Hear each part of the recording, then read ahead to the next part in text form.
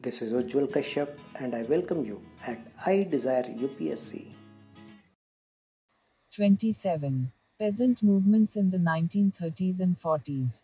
The 1930s bore witness to a new and nationwide awakening of Indian peasants to their own strength and capacity to organize for the betterment of their living conditions. This awakening was largely a result of the combination of particular economic and political developments, the Great Depression that began to hit India from 1929-30 and the new phase of mass struggle launched by the Indian National Congress in 1930. The depression which brought agricultural prices crashing down to half or less of their normal levels dealt a severe blow to the already impoverished peasants burdened with high taxes and rents. The government was obdurate in refusing to scale down its own rates of taxation or in asking zamindars to bring down their rents. The prices of manufactured goods, too, didn't register comparable decreases. All told, the peasants were placed in a situation where they had to continue to pay taxes, rents, and debts at pre depression rates while their incomes continued to spiral steadily downward. The civil disobedience movement was launched in this atmosphere of discontent in 1930, and in many parts of the country it soon took on the form of a no tax and no rent campaign. Peasants, emboldened by the recent success of the Bardoli Satyagraha 1928, joined the protest in large numbers. In Andhra, for example, the political movement was soon enmeshed with the campaign against resettlement that threatened an increase in land revenue. In UP, no revenue soon turned into no rent and the movement continued even during the period of truce following the Gandhi Irwin Pact.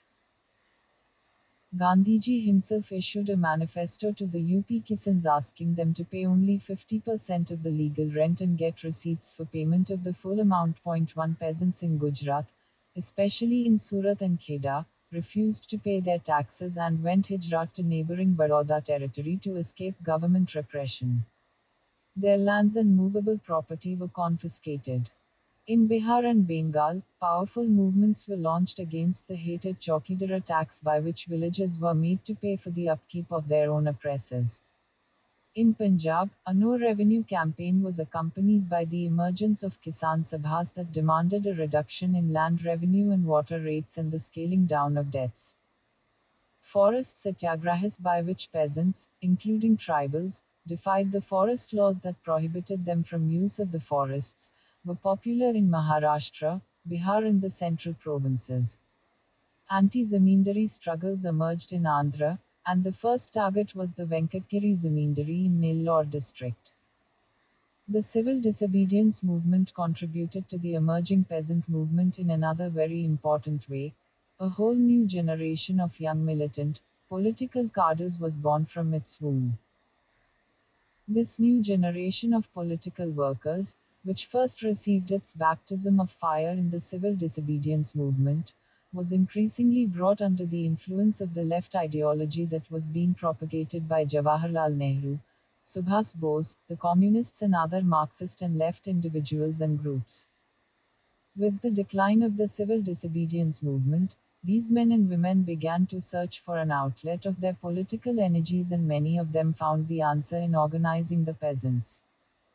Also, in 1934, with the formation of the Congress Socialist Party, CSP, the process of the consolidation of the left forces received a significant push forward. The Communists, too, got the opportunity, by becoming members of the CSP, to work in an open and legal fashion.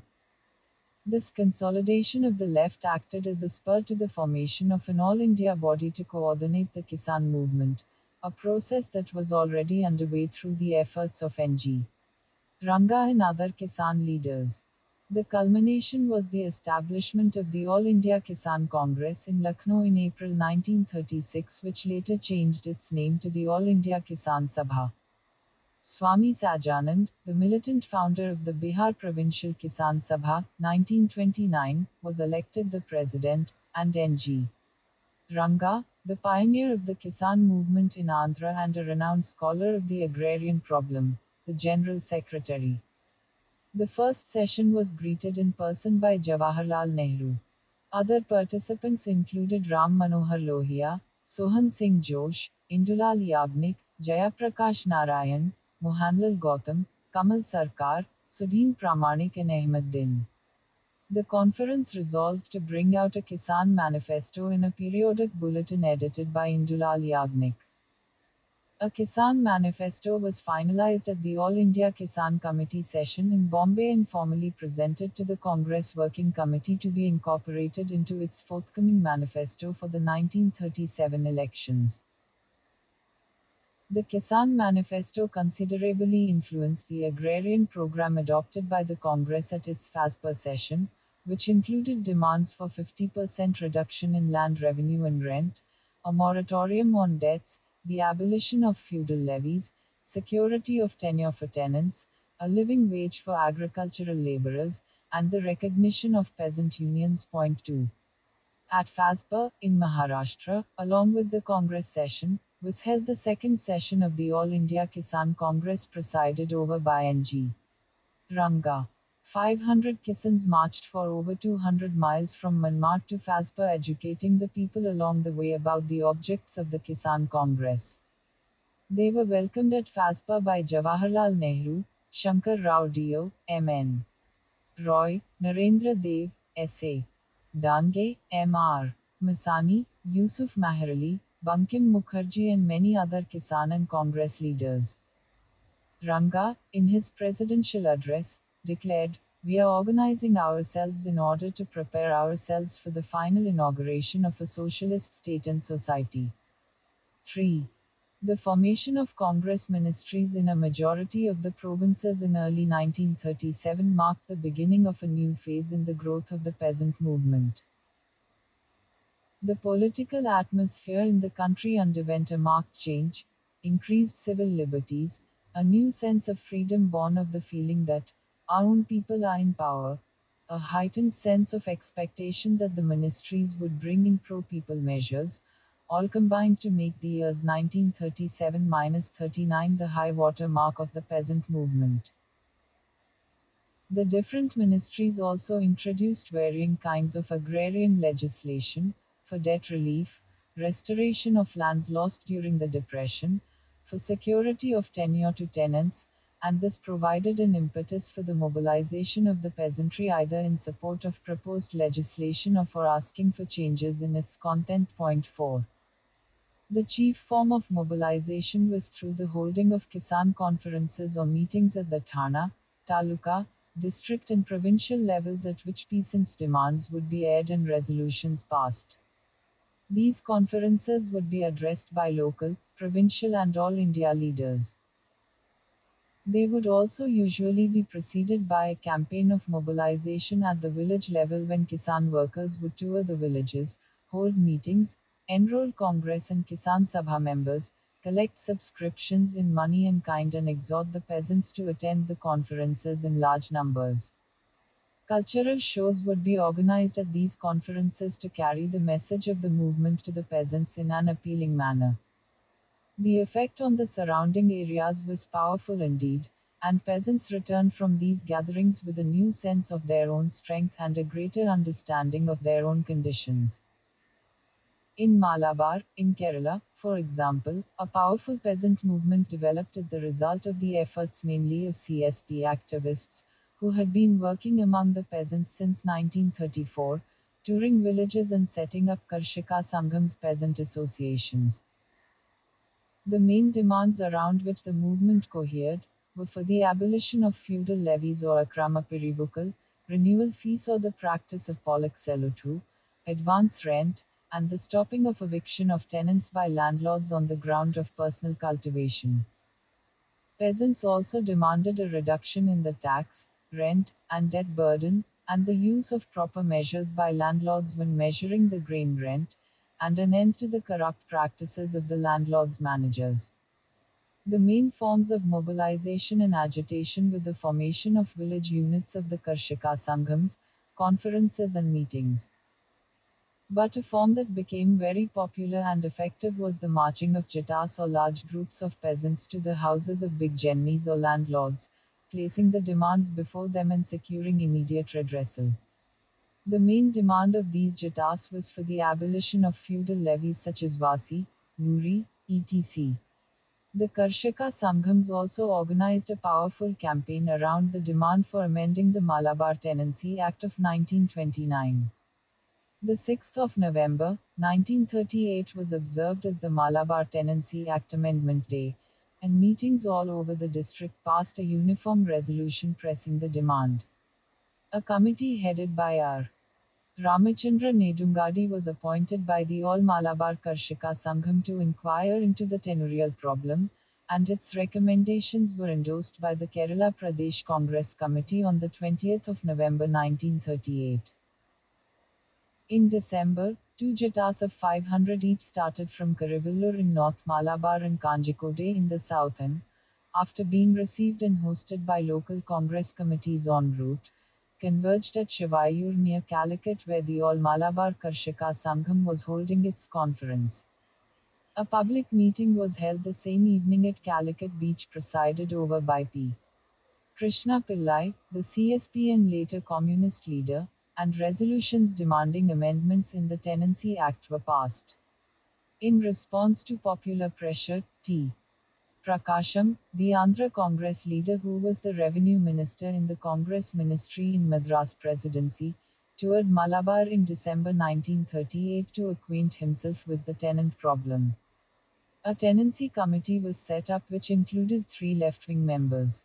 The Karshaka Sangham units and Congress committees held a series of meetings to mobilize peasants to present evidence and to submit memoranda to the committee.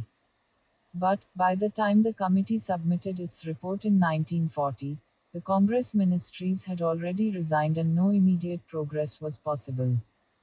But the campaign had successfully mobilized the peasantry on the tenancy question and created an awareness that ensured that in later years these demands would inevitably have to be accepted.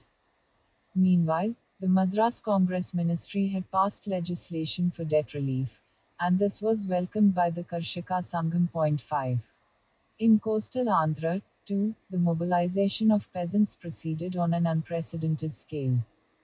The Andhra Provincial Ryots Association and the Andhra Zameen Ryots Association already had a long history of successful struggle against the government and zamindars.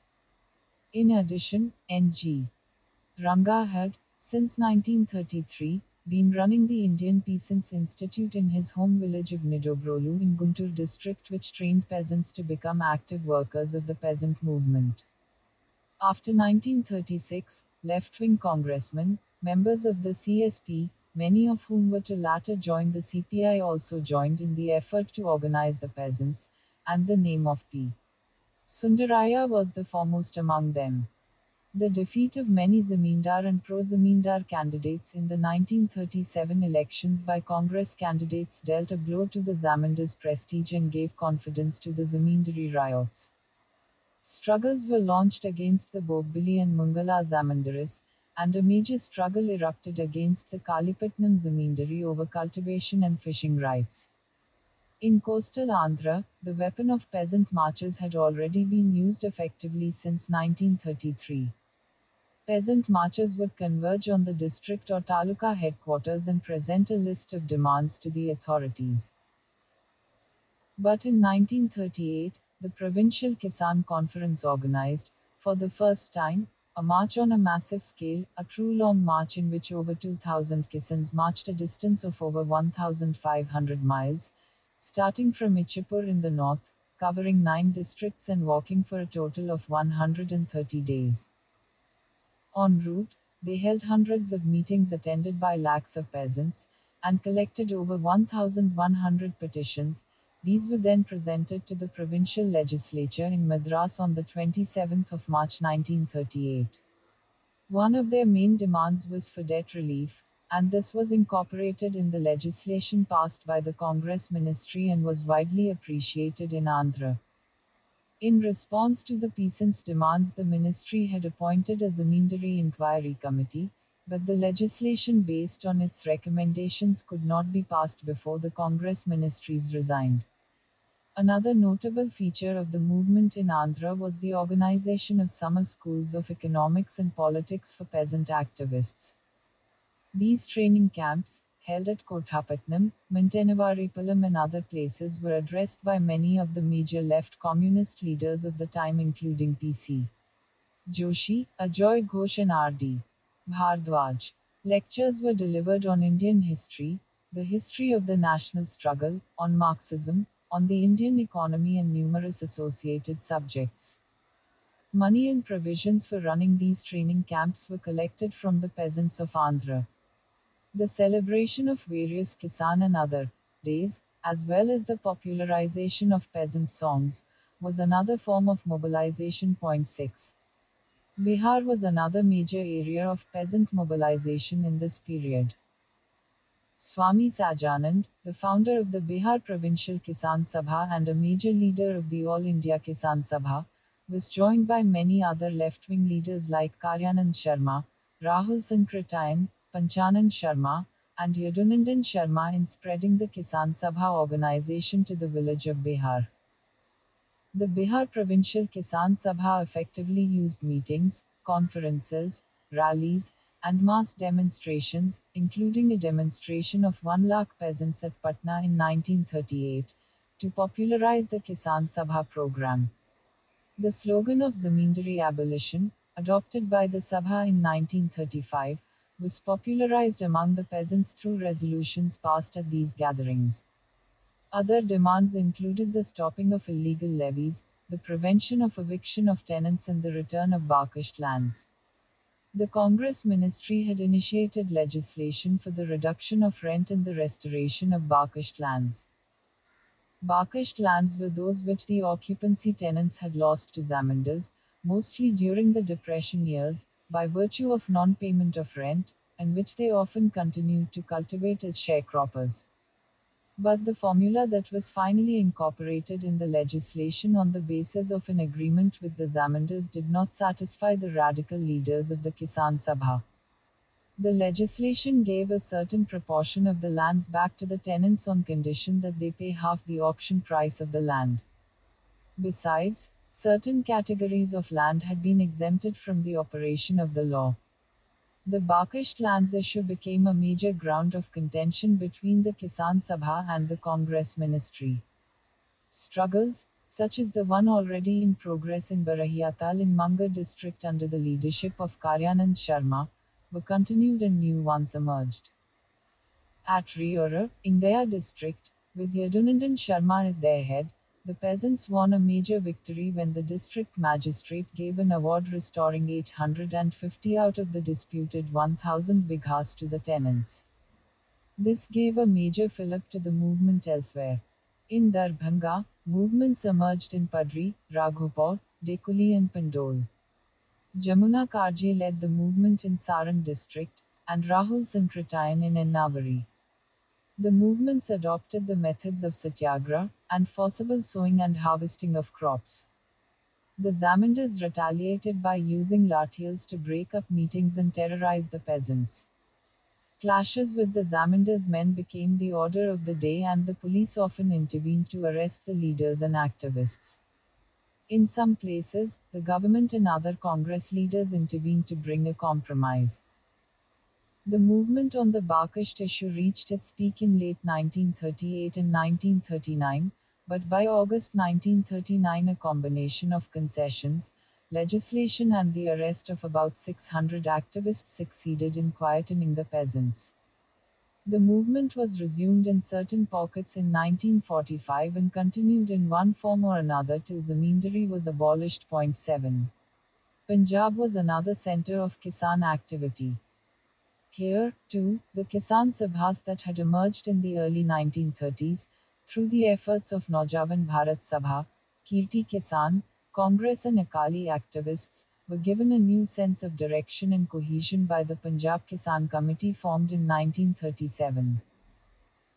The pattern of mobilization was the familiar one Kisan workers toured villages enrolling Kisan Sabha and Congress members, organizing meetings, mobilizing people for the tehsil, district and provincial level conferences which were held with increasing frequency and attended by an array of national stars.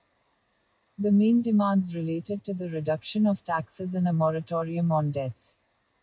The target of attack was the Unionist ministry, dominated by the big landlords of western Punjab.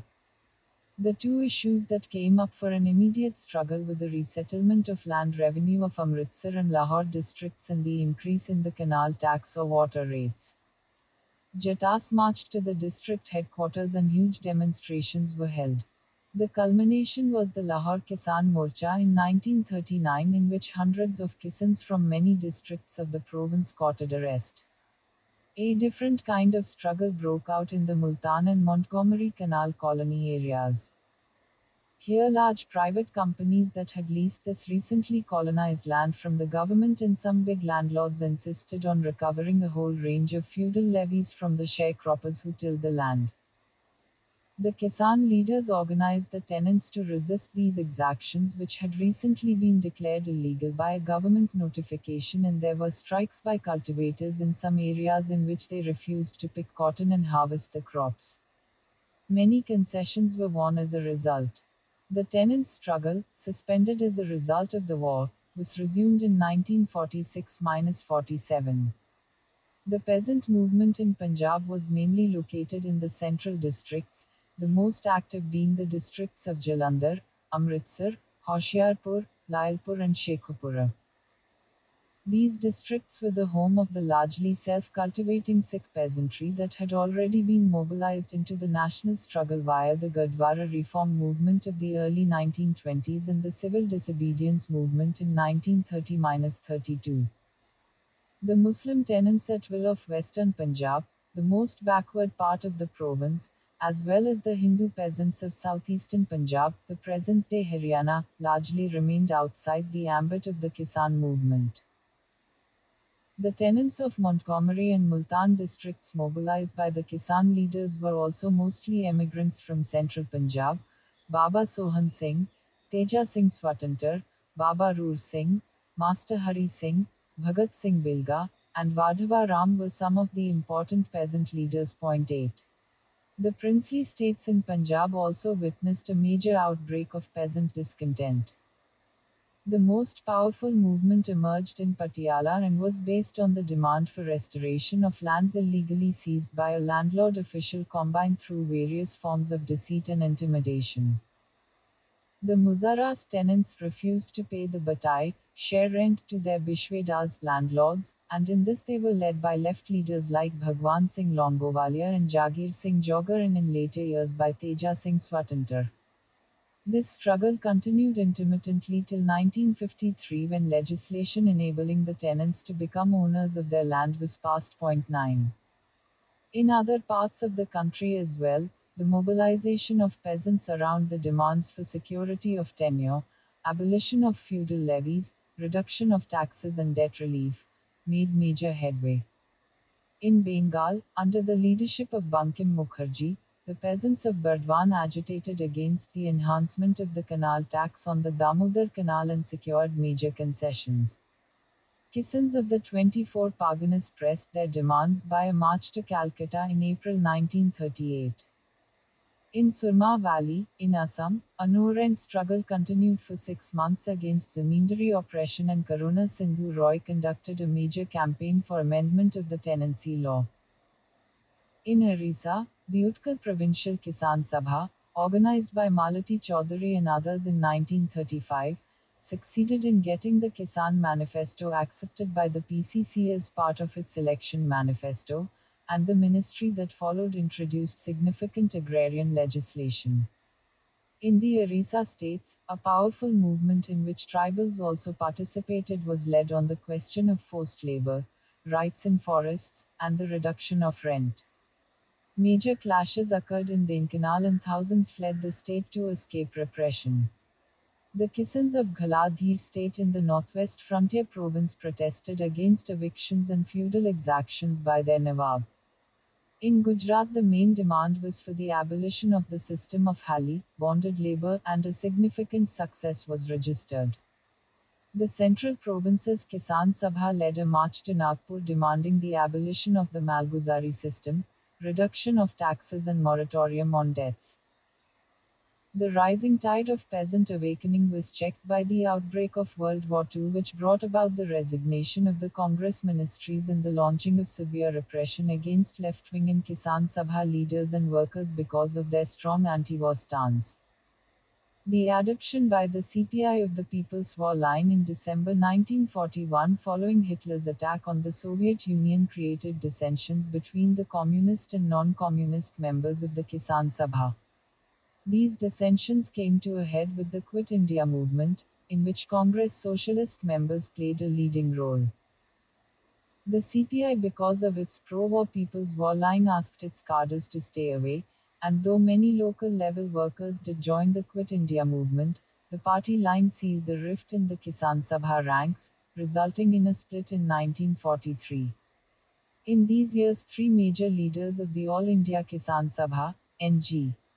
Ranga, Swami Sahajanand Saraswati and Indulal Yagnik, left the organization. Nevertheless, during the war years the Kisan Sabha continued to play an important role in various kinds of relief work, as for example in the Bengal famine of 1943, and helped to lessen the rigor of shortages of essential goods, rationing and the like. It also continued its organizational work, despite being severely handicapped by its taking the unpopular pro war stance which alienated it from various sections of the peasantry. The end of the war, followed by the negotiations for the transfer of power and the anticipation of freedom, marked a qualitatively new stage in the development of the peasant movement. A new spirit was evident in the certainty of approaching freedom with the promise of a new social order encouraged peasants, among other social groups, to assert their rights and claims with a new vigor. Many struggles that had been left off in 1939 were renewed. The demand for zamindari abolition was pressed with a greater sense of urgency. The organization of agricultural workers in Andhra, which had begun a few years earlier, took on the form of a struggle for higher wages and use of standard measures for payment of wages in kind. The peasants of Punnapra Vayalar in Travancore fought bloody battles with the administration. In Telangana, the peasants organized themselves to resist the landlord's oppression and played an important role in the anti Nizam struggle. Similar events took place in other parts of the country. But in British India, it was the Tebhaga struggle in Bengal that held the limelight. In late 1946, the sharecroppers of Bengal began to assert that they would no longer pay a half share of their crop to the jotedars but only one third, and that before division the crop would be stored in their khamas godowns and not that of the jotedars. They were no doubt encouraged by the fact that the Bengal Land Revenue Commission, popularly known as the Flood Commission, had already made this recommendation in its report to the government. The Hajong tribals were simultaneously demanding commutation of their kind rents into cash rents. The Tebhaga movement, led by the Bengal Provincial Kisan Sabha, soon developed into a clash between Jotedars and Bargadars with the Bargadars insisting on storing the crop in their own khamas. The movement received a great boost in late January 1947 when the Muslim League ministry led by Suhrawardy published the Bengal Bargadars Temporary Regulation Bill in the Calcutta Gazette on the 22nd of January 1947. Encouraged by the fact that the demand for Tebhaga could no longer be called illegal, peasants in hitherto untouched villages and areas joined the struggle. In many places, peasants tried to remove the paddy already stored in the Jotedas khamas to their own, and this resulted in innumerable clashes. The Jotedars appealed to the government, and the police came in to suppress the peasants. Major clashes ensued at a few places, the most important being the one at Khanpur in which 20 peasants were killed. Repression continued, and by the end of February, the movement was virtually dead.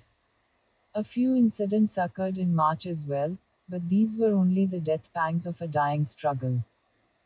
The Muslim League ministry failed to pursue the bill in the assembly, and it was only in 1950 that the Congress ministry passed a Bargadars bill which incorporated, in substance, the demands of the movement. The main centers of the movement were Dinajpur, Rangpur, Jalpaiguri, Mymensingh, Midnapur, and to a lesser extent 24 Parganas and Khulna.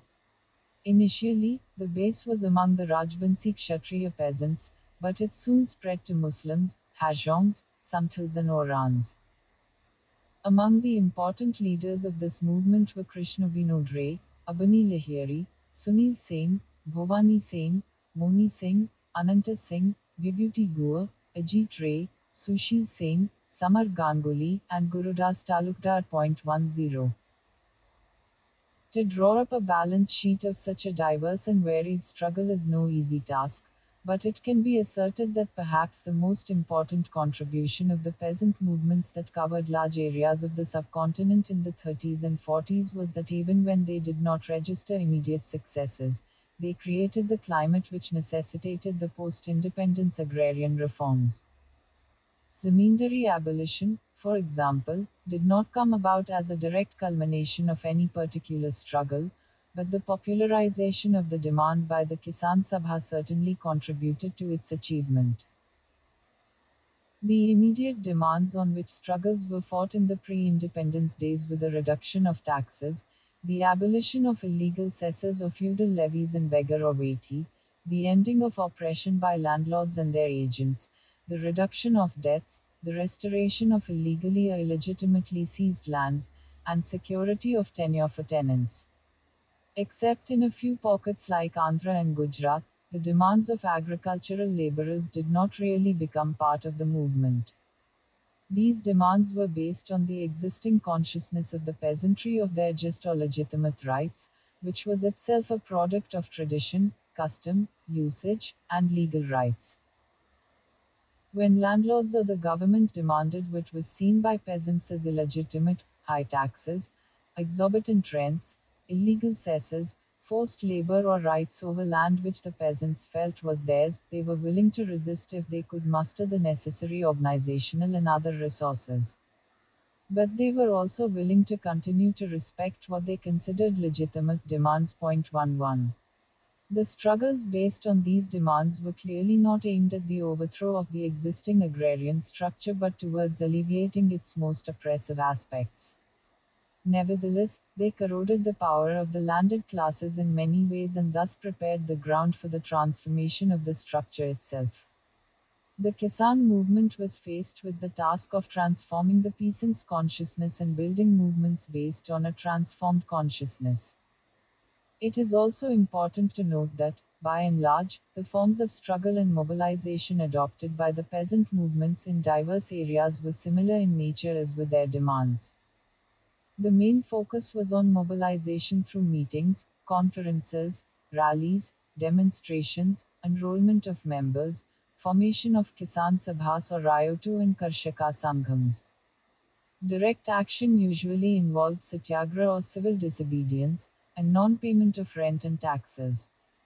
All these forms had become the stock in trade of the national movement for the past several years. As in the national movement, violent clashes were the exception and not the norm. They were rarely sanctioned by the leadership and were usually popular responses to extreme repression.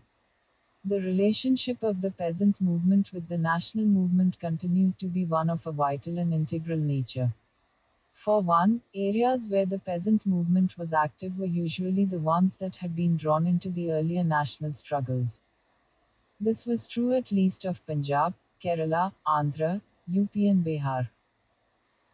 This was hardly surprising since it was the spread of the national movement that had created the initial conditions required for the emergence of peasant struggles, a politicized and conscious peasantry and a band of active political workers capable of and willing to perform the task of organization and leadership.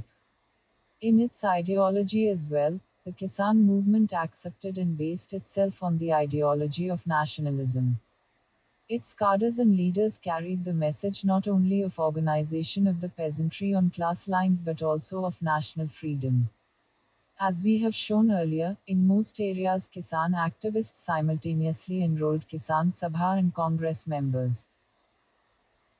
True, in some regions, like Bihar, serious differences emerged between sections of congressmen and the Kisan Sabha, and at times the Kisan movement seemed set on a path of confrontation with the Congress, but this tended to happen only when both left wing activists and right wing or conservative congressmen took extreme positions and showed an unwillingness to accommodate each other.